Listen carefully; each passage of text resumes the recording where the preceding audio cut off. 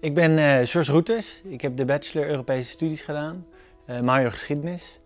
Uh, daarna heb ik een master literatuurwetenschap gedaan en daarna master European Studies Identity and Integration. Ik werk nu bij het tijdschrift Vrij Nederland.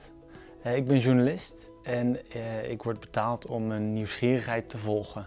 Dus ik mag onderwerpen induiken waar ik me voor fascineer. en dat mag ik dan met creativiteit hopelijk in een prikkelend verhaal gieten. Hoe ik me heb georiënteerd op de arbeidsmarkt, ja, dat begon aan het einde van mijn bachelor. Uh, het begin van mijn bachelor was vooral van, oh wat is alles interessant. En in mijn laatste jaar dacht ik opeens, oh nee, ik moet ook nog hierna geld gaan verdienen. Uh, dus toen eh, ben ik me aangemeld bij allemaal studentenbladen.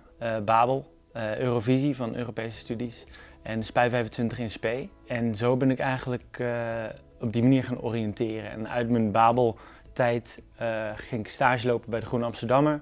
En vanuit de Groene Amsterdammer begon ik met freelancen. En vanuit freelancen kwam ik bij Vrij Nederland terecht.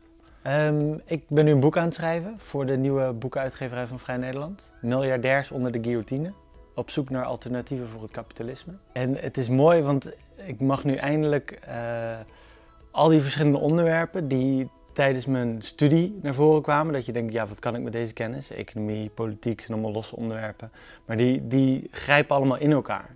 En het is wel heel mooi dat ik dat nu soort van zelf in een boek mag gaan gieten. Um, wat ik zelf had tijdens mijn studie is dat je zeg maar voor allemaal van die studentenbladen schrijft en je denkt niemand gaat het lezen. Um, maar dat maakt niet uit. Je moet laten zien dat je, dat je kan schrijven en, en bij potentiële opdrachtgevers of bij potentiële bazen.